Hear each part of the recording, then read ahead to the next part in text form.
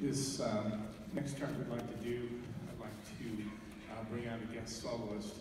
Um, He was a recent graduate uh, Fort Hays State University and now teaches at Hays High and was fresh off of three ones yesterday at the State Music Festival. So not only does he teach well, he also plays well and played lead alto in Jazz One and also played in Jazz Two uh, for many years.